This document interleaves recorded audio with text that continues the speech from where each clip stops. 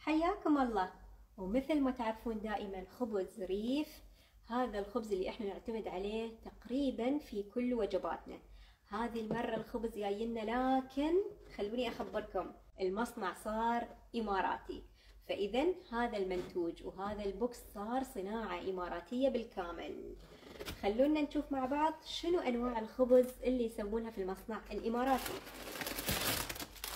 عندنا خبز عالي الألياف.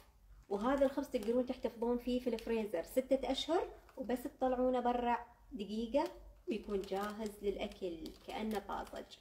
الخبز اللي عندهم مناسب حق اللي يسوون رجيم مناسب للسكر مناسب للناس اللي عندهم آلام في المعدة والقولون يساعدهم وهذا خبز الشوفان اللذيذ اللي أنا وايد أحبه وأعتمد عليه.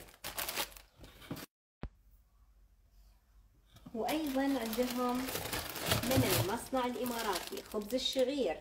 خبز الشعير بعد وايد مفيد ومليء بالفيتامينات والألياف. آخر نوع من أنواع المنتوج من المصنع الإماراتي خبز بذور الكتان. مثل ما قلت لكم كلهم عاليين بالألياف ومخبوزين ينخبزون يوميا في المصنع ويتوردون. بإمكانكم تتواصلون معاهم وتشوفون نوع الخبز اللي تبونه. فخورين بأن هذا المصنع صار الحين موجود في الإمارات.